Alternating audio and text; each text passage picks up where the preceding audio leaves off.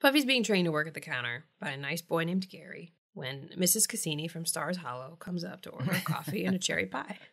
Buffy freaks out about how many buttons Gary hits, which was like three. Gary's like, nah, bitch, a dog could do this job.